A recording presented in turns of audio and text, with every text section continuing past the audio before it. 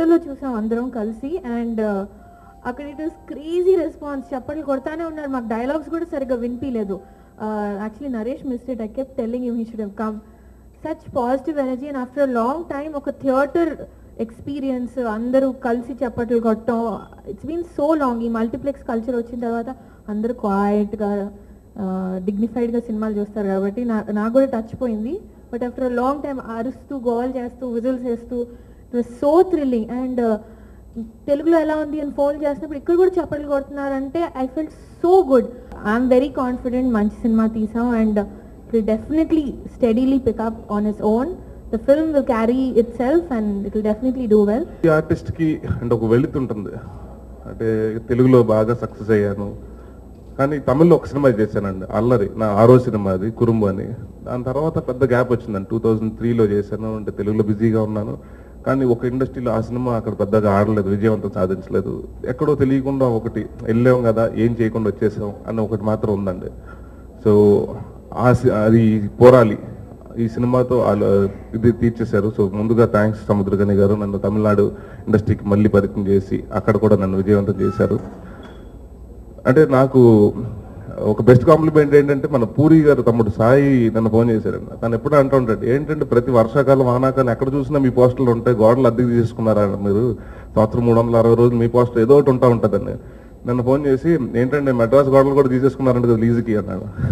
So చాలా ఆనందంగా ఉంది. అంటే మంచి కాంప్లిమెంట్ ముఖ్యంగా ఎందుకంటే కామెడీ అండి. అంటే ఫస్ట్ ఇక్కడ కూడా తెలుగు వచ్చేటప్పటికి అందరూ ఏమనుకున్నారంటే సంఘర్షణ మేము ఎందుకు పెట్టామంటే సెకండ్ హాఫ్ కొంచెం ఒక ఒక మెసేజ్ తోటి ఉన్న సినిమా ఇది. కొంచెం అంతకుని సీరియస్ టోన్ ఉంటుంది. ఈ సినిమా కామెడీ ఎక్స్పెక్ట్ చేస్తే మళ్ళీ ఎక్కువ టూ మచ్ ఆఫ్ ఎక్స్పెక్టేషన్ ఉంటుంది. బట్ ఫస్ట్ హాఫ్లో కూడా అంత ముందు నుంచి చెప్తాను ఉన్నాను. నేను కామెడీ లేదు అనుకుంటానికి లేదండి.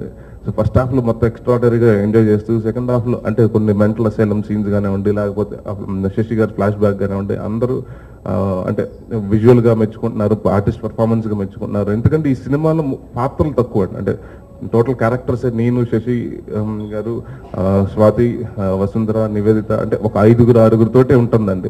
సో వీఆర్ వెరీ హ్యాపీ ఎందుకంటే ఒక- ఐదు సంవత్సరాలు పది సంవత్సరాల తర్వాత నా కెరియర్లో నేను చెప్పుకోవడానికి ఒక మంచి పాత్ర చేశాను అని చెప్పుకోవడానికి ఒక సినిమా అండి. ముఖ్యంగా ఈ సినిమా అంటే ఒక కాంప్లిమెంట్ ఇప్పటికీ మర్చిపోలేని కాంప్లిమెంట్ ఏంటంటే నేను చేసింది ఒక మెంటల్ అంటే సినిమా రిలీజ్ అయింది కాబట్టి చెప్పేస్తున్నానండి ఇప్పుడు. మెంటల్ ఛాలెంజ్డ్ పర్సన్ అండి. నాకు నన్న డైరెక్టర్గా చెప్పారండి ఇట్స్ సైకలాజికల్గా ఎక్కువ ఉంటుంది ఈ సినిమాలో అంటే బాగా రీసెర్చ్ చేసి ఆయన చేశారు. So I think so all ఇది బేసిక్ uh, ఇది ప్రతి రివ్యూస్లో రాసినా కానివ్వండి లేకపోతే ప్రతి వాళ్ళు చెప్పినా కానీ it's only one person show and it's entire Samuthirakani గారి షో అండ్ ఇట్స్ అది ఇట్స్ ఫ్యాక్ట్ అండ్ శశి గారు అగైన్ ఒక డైరెక్టర్గా సక్సెస్ సాధించారు ఒక నటుడుగా సక్సెస్ సాధించారు ఒక ప్రొడ్యూసర్గా సక్సెస్ సాధించారు. ఈ సినిమాతో ఆయన ప్రొడ్యూసర్ అండ్ నటుడు మాత్రమే అండి ఎందుకంటే ఈయన దర్శకుడు ఇద్దరు మంచి ఫ్రెండ్స్ సో ఆయనకి కంగ్రాచులేషన్స్ పోరాలి. మళ్ళీ పెద్ద అంటే ఇది వరుసగా ఆయనకి మూడో విజయం. సో హ్యాట్రిక్ హిట్ కాబట్టి ఆయన కంగ్రాచులేషన్స్ అండ్ తెలుగు ప్రేక్షకులందరికీ కోరుకునేది ఏంటంటే వెళ్ళండి మంచి సినిమా చూడండి. ఫస్ట్ హాఫ్ హ్యాపీగా ఎంజాయ్ చేయండి. సెకండ్ హాఫ్లో కూడా కామెడీ ఉంటుంది. సో ప్రశా అంటే కొత్తగా ఉంటుంది. వెళ్ళి చూసి మమ్మల్ని అందరిని బ్లెస్ చేయండి. Thank you I very happy నా తమ్ముడు నరేష్ని నాకు చాలా గర్వంగా ఉంది. ఐ వెరీ హ్యాపీ ఈ రంజిత్ మూవీస్ బ్యానర్లో నేను మొదలుపెట్టిన దగ్గర నుంచి కూడా ఒక మంచి సినిమా తీయాలి సినిమా నేను తీసిన సినిమా జనం చూసి ఇదే సినిమా తీశారా అని అనుకోకూడదనే ఫస్ట్ కాన్సెప్ట్ సినిమాలు మొదలు- తీయటం మొదలుపెట్టాను. అలా మొదలైంది ప్రూవ్ అయింది మడత కాజా ప్రూవ్ అయింది. ఈ ప్రపోజల్ వచ్చినప్పుడు ఒకటిని ఒకటి ఆలోచించిన అంటే ఓకే నరేష్ ఉన్నాడు డెఫినెట్గా తమిళ్ళో డిఫరెంట్గా చేస్తాడు. సముద్ర కని ఆల్రెడీ శంభో శోభ చేశాడు ఆ సినిమా నేను చూశాను నాకు నచ్చిన సినిమా. సో డెఫినెట్గా తప్పు వచ్చిన సినిమా ఉంటుంది. డెఫినెట్గా చేద్దామని డిసైడ్ చేసి నేను సినిమా చూడలేదు. చూడకుండా బ్లైండ్ గేమ్ ఆడి చేసిన సినిమా ఇది. వీళ్ళిద్దరి మీద నమ్మకంతో చేసిన సినిమా ఇది. సముద్ర కానీ ఏం చెప్పాలనుకో ఆయన ఆయన చెప్తాను ఏంటో నాకు తెలియదు కానీ నాకు అర్థమైంది ఏంటంటే ఈ ఈ- రోజుల్లో హ్యుమానిటీ తక్కువైన రోజులు ఇవి. ఇట్లాంటి రోజుల్లో ఇట్లాంటి హ్యూమానిటీని చూపిస్తాం. హ్యూమా చూపించి జనం అర్థం చేసుకుంటారు అనేది తీసాడు ఆయన. దాంట్లో చాలా పర్ఫెక్ట్గా చేశాడు ఆ పని. ఇంకోటి ఏంటంటే చాలా ఇంటలెక్చువల్ పాయింట్స్ని చాలా మంది చెప్తారు ఇంటలెక్చువల్ పాయింట్స్ కానీ సినీ కొంత ఈ సినిమాలో చెప్పినప్పుడు ఏమవుతుందంటే కొన్ని సినిమాక్స్ ఏమంటారు మల్టీప్లెక్స్కి అర్థం అర్థమవుతుంది గ్రౌండ్ లెవెల్కి అర్థం కాదు. ఈయన చెప్పాలనుకున్న ఇంటలెక్చువల్ పాయింట్స్ని గ్రౌండ్ లెవెల్లో ప్రతి ఒక్కరికి అర్థమయ్యేటట్టు చెప్పాడండి ఈ సినిమాలో. అది సినిమా చూస్తే అర్థమవుతుంది నేను చెప్పేదానికంటే కూడా.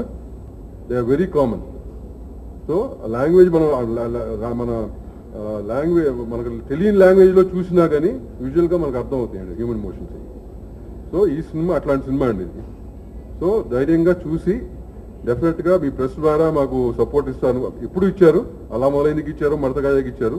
దీనికి ఎక్కువ కోరుకుంటున్నాను నేను ఎందుకంటే దీనికి హండ్రెడ్ పర్సెంట్ మీ మొన్న మీ సపోర్ట్తో దీన్ని మీరు జనం దగ్గరికి తీసుకెళ్ళగలిగితే డెఫినెట్గా జనం కూడా చూసి మంచి సినిమా గ్యారంటీ కాబట్టి డెఫినెట్గా చూసి ఆనందిస్తాను.